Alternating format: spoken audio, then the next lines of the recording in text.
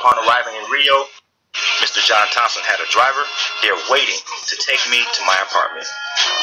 My apartment slept two easily, even though it was just me and located within walking distance from Copacabana Beach. I was given a cell phone to use the entire duration of my visit, which allowed me to keep my iPhone on airplane mode, which saved me money on roaming charges. Mr. John Thompson kept me informed on the various spots I wanted to go see and how to get there. These services and more were accessible to me and made my time there that much better given I didn't know the language and would have had a far more difficult time attempting to get around without the help of Mr. John Thompson and his services.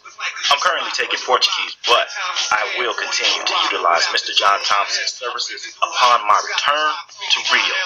Definitely. Sarah Love. In the mix. In the mix. In the mix. Mr. John, Mr. John, Mr. John Thompson. know who it is. Mr. John Thompson.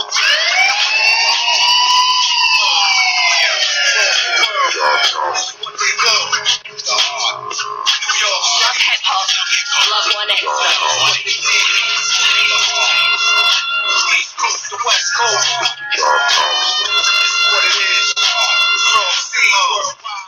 the the weekend. They do it sometimes on the weekend. Yeah, oh yeah, at the restaurant.